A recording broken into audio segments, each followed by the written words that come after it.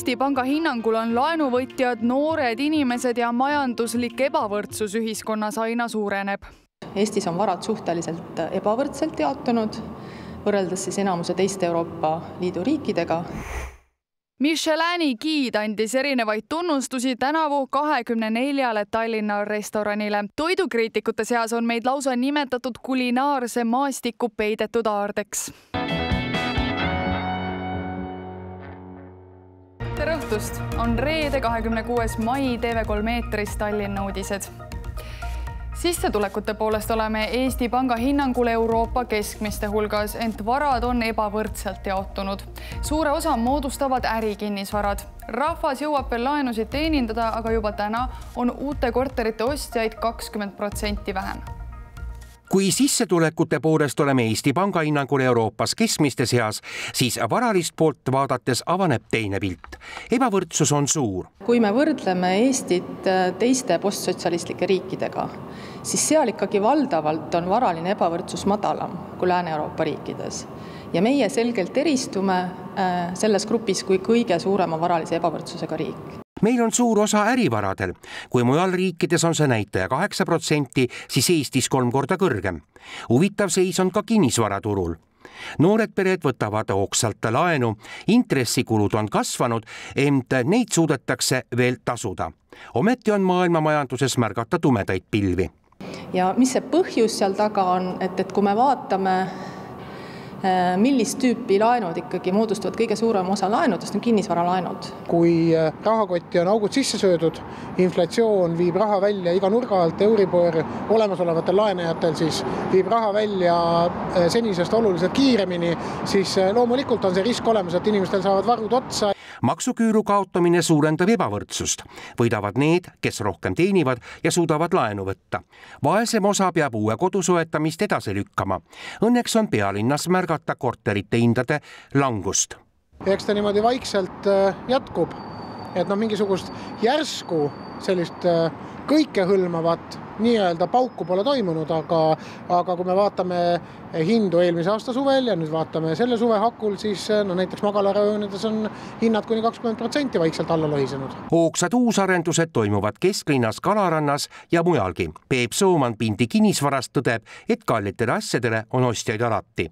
ometi võivad ka rikkad hakata nutma ja arendajad hindu alla tooma kui juhtub nii, et midagi müüa ei saa, siis loomulikult siin äh, tekivad äh, rahavooprobleemid, laenud on kaelas ja, ja millegi eest tuleb neid ju teenindada. enamus arendajaid uusi arendusi praegu ei alusta. müügis on see kaup, mis on ehitamisel või valmis linnaruumis näha olev kunst on nüüd koondatud ühtsesse kaardirakendusse.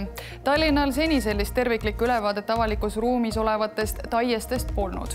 kaardil on näha, et suurem osa kunsti on koondunud kesklinna, mis tähendab, et teistes linnaosades uusarendusi luues võiks sinna sihilikult ka kunstiteoseid planeerida viimase aasta vältel kaardistati kunsti Tallinna linnaruumis, installatsioonid, skulptuurid, monumendid ning tänavakunstiteosed, mille tulemusena valmis põhjalik andmekogu. nüüd, kui me räägime linnakunstist, siis esimene mõte on ikkagi skulptuurid, noh nagu, nagu Pitka meie selja taga.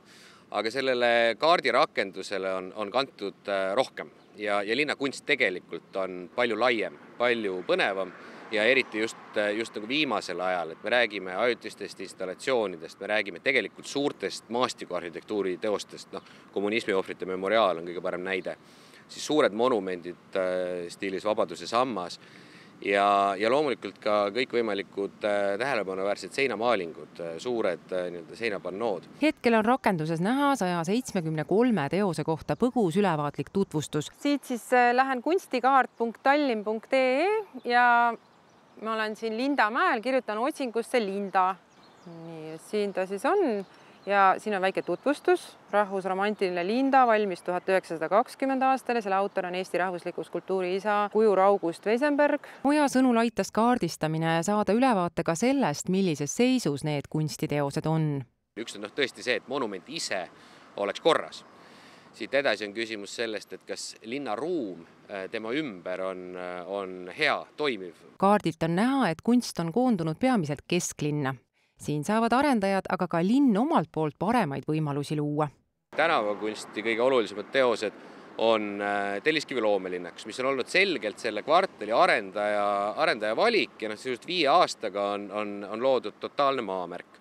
Samamoodi Ülemiste City's, kus me räägime Ülemiste tüdrukust, mis on väidetavalt Põhjamaade kõige suurem seinamaaling, et see on samamoodi, see on selle arendaja Äh, valik muuhulgas luua kvaliteetset linnaruumi. kaardistatud taiesed on leitavad kaardirakendusel, mis asub aadressil kunstikaart.tallinn.ee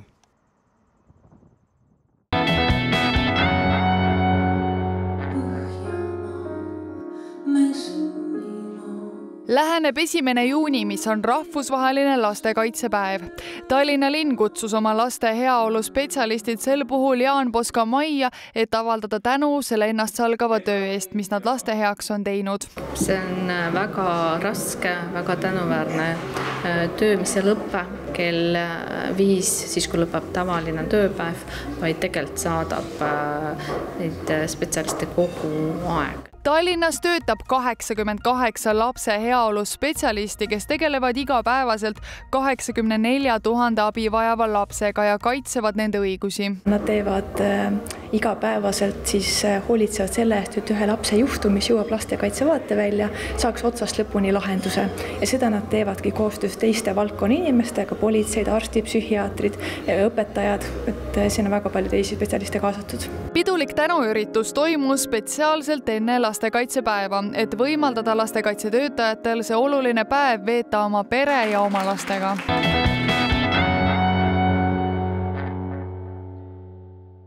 märgates Tallinnas konna, siili, sisalikku, oravat või mõnd teist linna elurikkuse esindajat, saab igaüks aidata loodusvaatlejatel kaardistada pealinna elustikku. alanud on Rohelise pealinna loodusvaatluse talgud linna melus ja kiiruses jääb tihti märkamata, kui palju on tegelikult Tallinnas loodust, ent väga vähe on selliseid pealinnu, kus on loomadele ja lindudele nii mitmekesiseid elupaiku kui siin. üks linnaaedade sage asukas on näiteks Siil. Siil on üks äh, väga hea näitaja elurikkuse kohta aias. Ja siil on veel peale lisaks sellele, siil on veel kasulik, sest siil tegelikult hoiab aias igasuguseid ähm, söödikuid tasakaalus. Neil on vaja, et neil oleks sellist ähm, puutumata jäänud äh, sellist natukene räämas, natukene sellist risust ala kuskil, kus nad saavad peituda, varjuda, oma asju ajada ja lisaks sellele neil on vaja, et neil oleks toitu ehk siis tigusid. et kaunist linna elurikkust ise märgata, aga et ka aidata eluslooduse uurijatel kaardistada koduaedade liike, on linlased oodatud oma tähelepanekuid üles märkima Keskkonnaagentuuri loodusvaatluste mobiilirakendusse sisestada sinna selle loodusvaatluste peale võib äh, seinast seina täiesti kõiki liike. Äh, nii taimedest alates kuni ka siis putuk, läbi putukate kuni siis imetajateni välja. Nende leviku info on hästi tähtis ja sellepärast ongi ülihea, kui, kui saaks Tallinna aedadest ja ka mitte ainult äh, eraaedadest, vaid ka sellistest ähm, majatagustest võpsikutest, kus, kuhu uurijad ei saa ligi siis nendest kohtadest saaks andmeid ja sel siin saavad aidata just nimelt needsamad inimesed, kes nendes kohtades kas elavad või siis, või siis äh, aeg-ajalt sinna satuvad. tänavu on loodusvaatluste veebilehte või nutirakendust kasutades tehtud Tallinna linnas ligi sada seitsekümmend vaatlust. ühe põnevama vaatlusena sellest aastast võib välja tuua vaenukäo, keda vaadeldi aprillikuus Pirita jõe ääres et siinset elurikkust hoida, saab igaüks teadlikult veidi panustada ikka leidub äh, mingisuguseid äh, väikseid peenraid või, või äh, kiviservasid ja nendesse lotseb kõigepealt muidugi hulgaliselt igasuguseid putukaid ja putukad ongi need, kes toovad ka sinna aeda teisi loomi. Tallinna elurikkuse kaardistamine on Tallinna rohelise pealinna elurikkuse programmi üheks osaks. loodusvaatlusi oodatakse mobiilirakendusse üles märkima kuni novembrini Tallinna munitsipaalpolitsei viis täna läbi õppuse, kõik ikka selleks, et linnas oleks tagatud kord ning mupo korrakaitseüksused oleksid pädevad erinevaid situatsioone ka lahendama. õppus algas Pikakari rannas, kus mängiti läbi olukord, kus tänavamuusikud kohalikke segavad. suvi meelitab ikka palju rahvast loodusesse, randa, parkidesse elu nautima, aga nautida tuleks nii, et see ei segaks kaaskodanikke. et siin äh, inimesed äh, tänaval laulavad, avaldajale see segab kohe vaatame, mis toimub. no praegu on suveaeg, me oleme mere ääres ju, võib ju tegelikult natuke meelt lahutada? võib, aga ainukene asi on vaja arvestada kaaskodanikud ka, et nendele ei segaks. Te väga vabalt võite mängida, aga kui te, me ei kiusa, me ei, me ei keela ju inimesel mängima. loomulikult on. ja me teeme, mis tahame, et. Mupo koolitab oma ametnikke järjepidevalt enesekaitsetreeningud, erinevad turvataktika-treeningud, õppus Kratt oligi väike vahekokkuvõte kuidas ametnikud eriolukordades hakkama saavad. ja äh, suurem osa lahendavad situatsioonid hästi, äh, mõned vead on siis ja võib-olla see äh, liiga väike distants, aga kokkuvõtteks ütlen siis praegu läheb normaalselt kõik aga siis on veel taksogrupi üks selline lisaülesande koht ja, ja, ja erinevad turvataktika ja avaliku korra teemad on kõik puudutatud et kõik ikka selleks, et patrullid, ekipaažid oleksid valmisolek. just nimelt, tegelikult on see väike ettevalmistus ka suuremaks õppuseks, mille viib läbi politsei. et ta on, ütleme, selline ettevalmistav, aga, aga ka laiemaid patrullide kaasamise selliseid õppuse vorme. mille puhul see pidu on?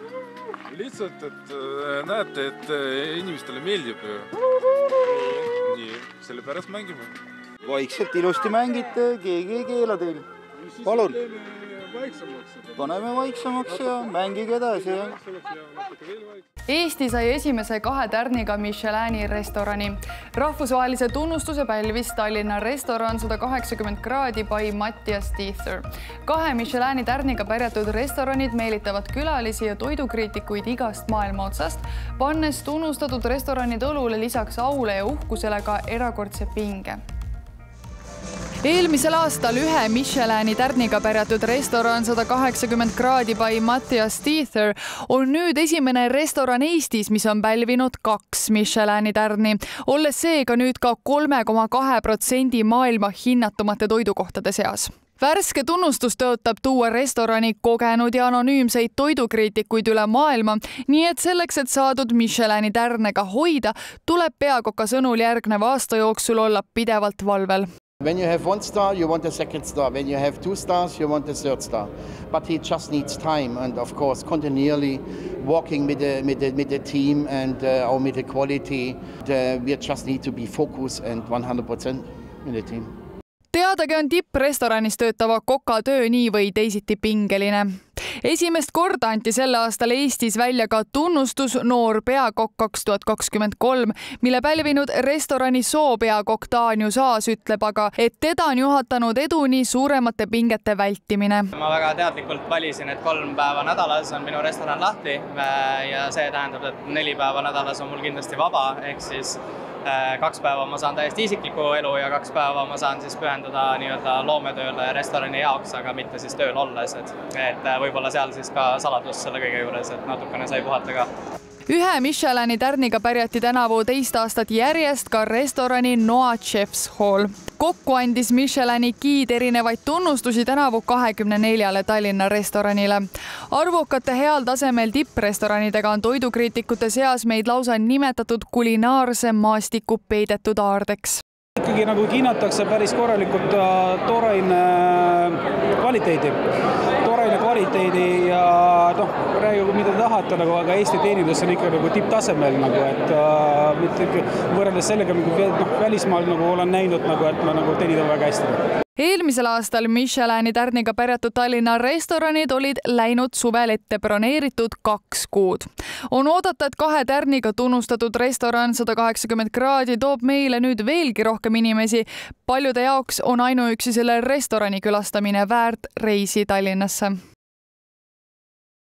ilmateenistuse prognoosi järgi püsivad lähipäevil õhusooja maksimumid kahekümne kraadi piiril. kohe täpsemalt ka Tallinna ilmaprognoosist laupäeva öösel on ilm selge, sooja on viis kuni kaheksa kraadi. päeval on vähese pilvisusega sajuta ilm, puhub loode ja läänetuul neli kuni üheksa meetrit sekundis. õhutemperatuur on kolmteist kuni viisteist kraadi pühapäeva öösel on selge või vähese pilvisusega sajuta ilm, õhutemperatuur on kolm kuni viis kraadi päeval on vahelduva pilvisusega olulise sajuta ilm, soojakraadid ulatuvad kuni üheksateistkümneni esmaspäeva öösel on vähese ja vahelduva pilvisusega sajuta ilm. õhutemperatuur on neli kuni kuus kraadi. Päeval on vahelduva pilvisusega ilm ja võib sadada ka hoovihma. puhub lääne ja loodetuul viis kuni üheksa meetrit sekundis. sooja on kaksteist kuni neliteist kraadi see oli reede, kahekümne kuues mai Tallinna uudistes. kõiki meie lugusid saab ka järele vaadata veebis pealinn.ee. kohtumiseni taas esmaspäeva õhtul kell kaheksateist viisteist. head õhtut